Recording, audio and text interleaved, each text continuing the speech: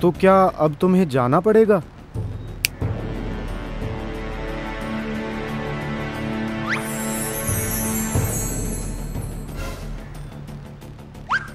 अरे कुछ नहीं एक किसान को अपने जॉन डियर ट्रैक्टर की ज़रूरत है। ओह तो दे दो। ठीक है भेज देता हूँ।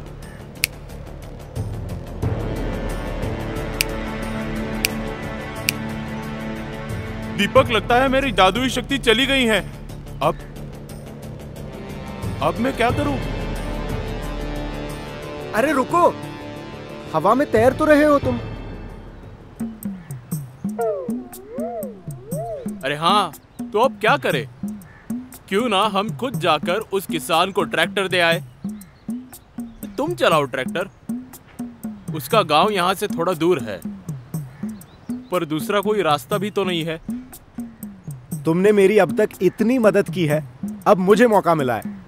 चलो पहले ये काम करते हैं।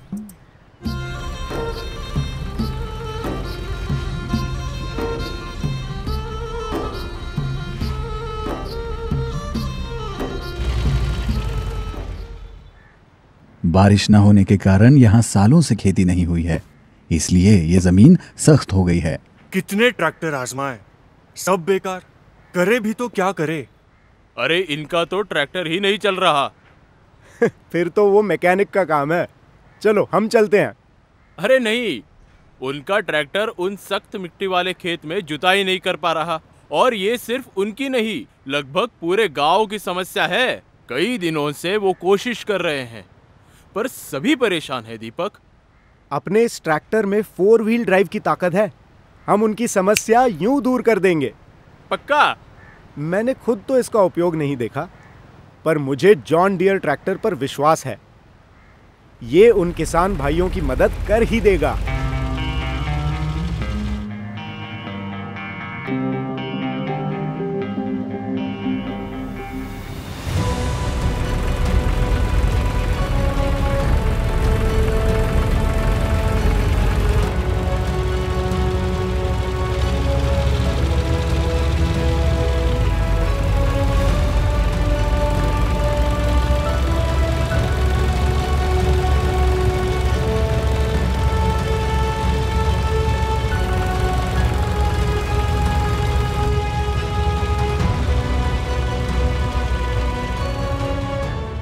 आपने मेरी समस्या हल कर दी। बड़ी मेहरबानी दीपक। अरे मैंने कुछ नहीं किया भाई। ये तो जॉन डियर ट्रैक्टर के फोर व्हील ड्राइव की ताकत का कमाल है। वरना ऐसी ठोस मिट्टी की जुताई करना लगभग नामुमकिन है। पर मैं खुश हूँ कि अब आपका खेती का काम शुरू हो सकता है। सिर्फ़ उसका ही नहीं हमारा भी। आपने हमें पूरे गाँव की समस्या का समाधान दिया है। ये ट्रैक्टर पूरे गाँव की खुशहाली का कारण बन सकता है। मैं तो कहता हूँ हमें भी जॉन डियर ट्रैक्टर ले ही लेना चाहिए। क्यों दीपक भैया? हाँ हाँ क्यों नहीं? सच्चे और अच्छे किसानों का पक्का दोस्त है जॉन डियर ट्रैक्टर सही कहा। चलिए चलता हूँ। मुझे काफ़ी दूर जाना है। भाई वाह जॉन डियर ट्रैक्टर ने तो कमाल कर दिया। पूरे गाँव की तकलीफें दूर कर दी। पता नहीं ये ट्रैक्टर आगे और कितनों की ज़िंदगी बदलने वाला है। वैसे मैं जानता हूँ कि आप सभी जॉन डियर ट्रैक्टर के दीवाने हो चुके हो। अरे शर्माओ मत। अरे चलो मेरे साथ।